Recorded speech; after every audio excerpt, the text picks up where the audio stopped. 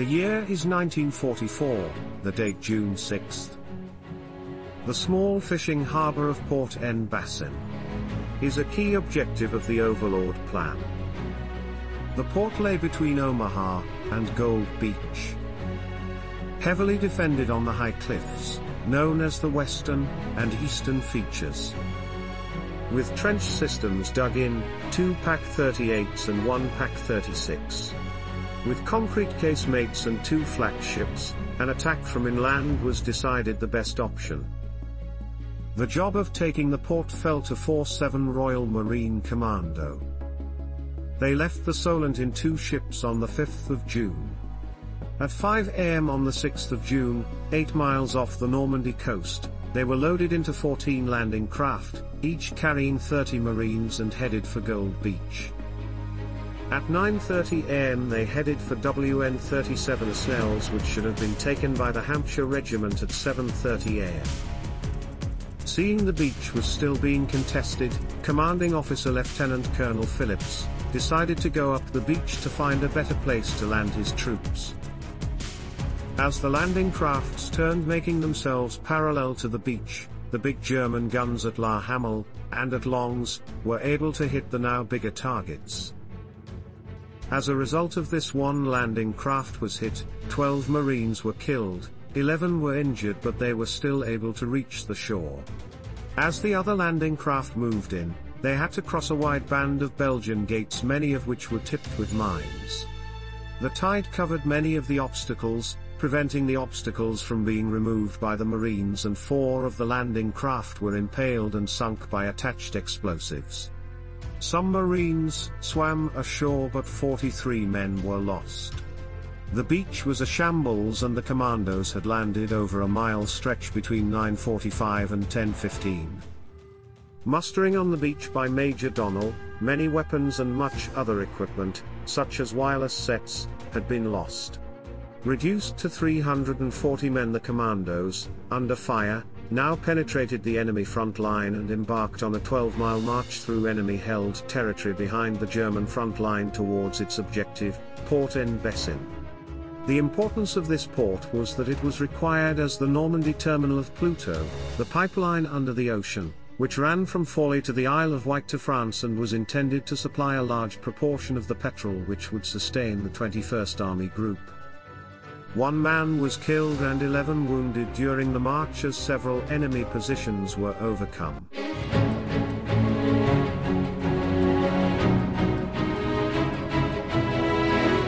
On marching into La Rosière the commandos find the position was still in German hands, it should have been taken by the Devonshire Regiment, so the commandos had to take it. The battle unfolded with A troop attacking some machine guns on the flanks, and X troop attacked the main body of Germans. After taking the position the commandos had to keep moving on. The commandos moved off from La Rosière at 7.45 pm in the same order of march, the route was entirely across the country over the Mas de Crédal, across the road leading south of Fontenay and then on to the lane leading to point 72. At first the move was without incident. Just after passing La Bouannerie, both X and B troops exchanged shots with isolated groups of enemy, but opposition was soon overcome, or bypassed. Occasional prisoners were taken, including one regimental sergeant major en route to visit his girlfriend at the brothel in Ouistreham. After arriving at point 72 at 10.30 pm, it was too late to start the attack so it was decided to wait until the morning while most of the men tried to sleep at point 72. Some men were sent out on patrol. Moving down a lane in the hamlet of Escures, they came across a German bunker which had been turned into an aid station, so the British took over half of it and shared it with the Germans. Early on the morning of the 7th, the commandos patrolling around Escures were surprised to come across some Germans, strolling along heading to the aid station to report sick. They were taken prisoner and they told the commandos, there is a German headquarters about a mile away at Chateau de Maison. It was decided the attack should start at 4 p.m.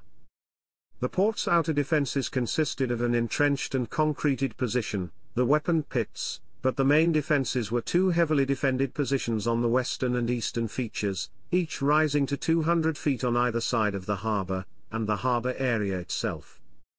A second aid station was set up, as it was thought the one in Escures was a bit far from the action.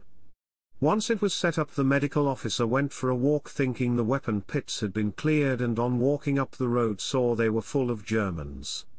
Just at that moment X-Troop broke cover from the tree line and ran at the position with bayonets fixed shouting as they ran. The occupants surrendered. Meanwhile A and B Troop had made their way to the church undetected.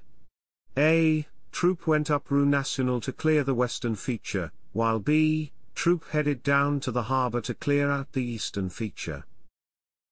As the troops moved into position to start the attack, HMS Emerald was at sea about midway between Arromanches and Port en Bessin when, about 11.30 hours, orders were received to bombard the eastern feature from 1400 hours to 1600 hours. At 1500 hours, HMS Emerald opened fire at a range of 5,000 yards, engaging targets on the eastern feature. The FOB had good communication with the ship and this bombardment continued until 1600 hours as planned. At 1550 hours, a squadron of Typhoons appeared. Ground targets were engaged very accurately by rockets and cannon fire. Another squadron appeared five minutes later and the fire from these aircraft was also very accurate. At 1600 hours the field battery started to smoke the port, and the high ground on either side. They were greatly assisted by a grass fire on the eastern feature, and also by the dust and smoke which resulted from the naval bombardment. As the smoke cleared, a troop headed up to the western feature, they were accompanied by a gendarme. They met the first belt of wire about 75 yards up the track. Lieutenant Goldstein went forward with Corporal Amos and Marine Wood, covered by two Bren guns and blew wire with Bangalore torpedoes. Splitting into two groups, two sections on the right of the track under Lieutenant Wilson headed to the bunker on the cliff, the other two sections on the left track under Lieutenant Goldstein headed to the top of the feature. Lieutenant Wilson's two sections start taking fire from the two flak ships and the bunker above them, taking heavy casualties, so they decide to pull out.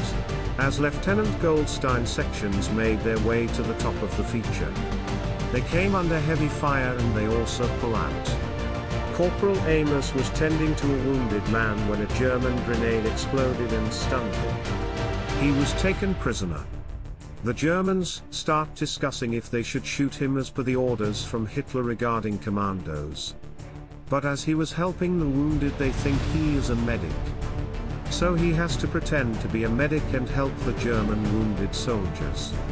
After this he falls asleep, of the 60 commandos who went up the western feature 24 are now casualties of which 12 are dead. Captain Cousins collected Lieutenant Wilson and about 28 other ranks. He led them via the church and cemetery down the road leading to the inner basin. Meanwhile B Troop had made their way into the inner basin taking 10 Germans prisoner, but they start taking fire from a house and other German positions on the eastern feature. The Germans had lifted the bridge of the harbour so the only way around was inland. With A and B Troop fighting from house to house, working their way around to the eastern feature. The CO met Major Donnell with Q Troop. The CO told him that the flak ships were being troublesome and that he was to get into the houses facing the basin and assist B Troop in their assault on the eastern feature and especially the flak ships. They were issued with a Piat and Major Donnell gave orders for them to move to the southeast corner of the inner basin, via the churchyard. Just short of the church Q Troop came under machine gun fire from the direction of the harbour. Captain Vincent took number 9 section with the Piat through to the road running parallel and they made their way via houses, gardens and yards to a cafe and start attacking the ships. About 2100 hours Captain Cousins reported to the CO that he had been within 20 yards from the top of the feature and said, if you can give me 25 men, I'm quite certain I can get to the top. The CO decided to use Q Troop only half of Q Troop had succeeded in getting ashore the previous day. Just after 2200 hours the CO heard them give an almighty cheer and saw them move forward over the crest. They were still visible when Captain Cousins fired a red very light. This was the signal for A Troop to wheel to the left and Q Troop to the right.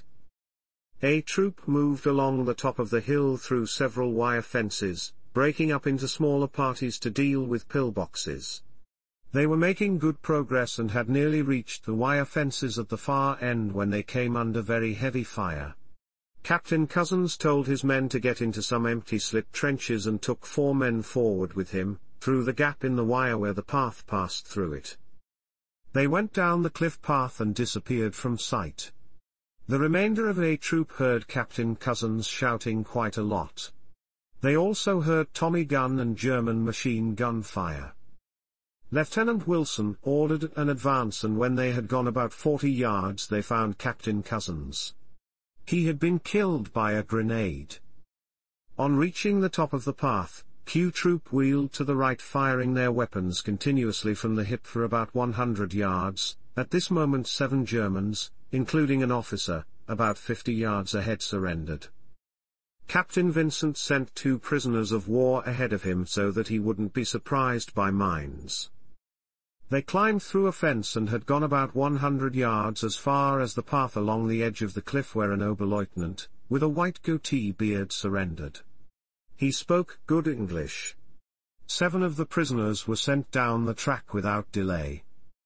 He then took his party westward along the cliff path for about 600 yards, all the time making the Oberleutnant call upon his men to surrender.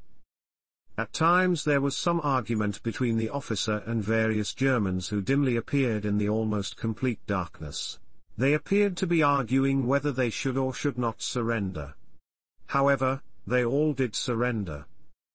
Awakened at 0400 hours by a German officer who gave Corporal Amos a cigar and said Comrade, prisoner. There was another man with him, Leaving the dugout Corporal Amos saw a crowd of Germans who had two white flags. Overnight the Germans found out the weapon pits and eastern feature had fallen. Corporal Amos tried to lead them down the way he had come but they wouldn't go that way and kept pointing to the ships. They then all went down a wooden and concrete ramp leading down the cliff. The Germans started waving the flags. Corporal Amos started to walk towards the town and the 23 Germans followed him. The troop took them over about 0500